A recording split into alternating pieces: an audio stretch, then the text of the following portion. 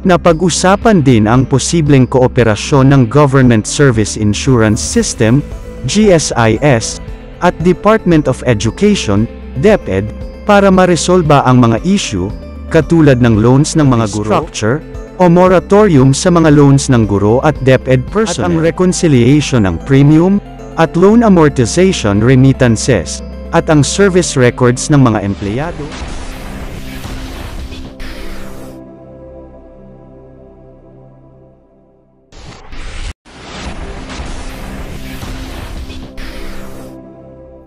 Magandang araw po mga kaguro.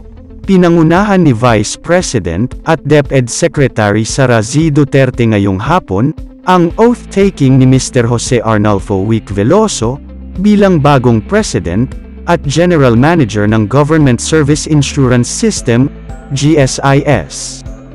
Napag-usapan din ang posibleng kooperasyon ng Government Service Insurance System, GSIS, at Department of Education, DepEd, para maresolba ang mga issue, katulad ng loans ng mga guro, pag-restructure, o moratorium sa mga loans ng guro at DepEd personnel, na apektado ng lindol, lalo na sa Northern Luzon, karagdagang insurance, para sa mga guro, katulad ng personal accident insurance, at ang reconciliation ng premium, at loan amortization remittances, at ang service records ng mga empleyado, ng ating tanggapan.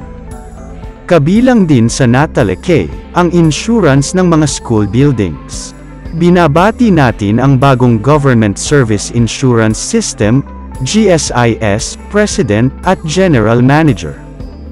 Congratulations, GSIS-PGM Veloso.